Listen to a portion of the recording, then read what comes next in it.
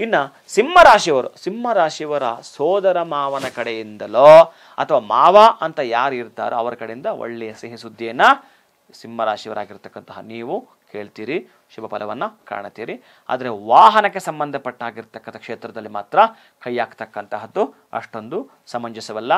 ನೂತನವಾಗಿರ್ತಕ್ಕಂಥದ್ದು, ಯಾವುದೋ ಒಂದು ನೂತನ, ಯಾವುದೋ ಒಂದು ವಿಶೇಷವಾಗಿರ್ತಕ್ಕಂಥದ್ದು ಥಿಂಗ್ಸ್ ಎಲ್ಲಿರ್ತಾರೆ ಅದನ್ನು ತೆಗೆದುಕೊಳ್ಬೇಕು. ಅಥವಾ ಒಂದು ಜಾಗ, ಇದು ಯಾವುದಕ್ಕೂ ಇವತ್ತು ಪ್ರಯತ್ನ ಪಡಬೇಡಿ. ಅದು ಓಂ ಶಂ ಶನೇಶ್ಚರಾಯ ನಮಃ. ಓಂ ಶಂ ಶನೇಶ್ಚರ ನಮಃ ಈ ಮಂತ್ರವನ್ನು ಇವತ್ತು ನೀವು ಹತ್ತೊಂಬತ್ತು ಬಾರಿ ಹೇಳಿಕೊಳ್ಳೋದ್ರಿಂದ ಶುಭ ಫಲವನ್ನು ಕಾಣುತ್ತೀರಿ.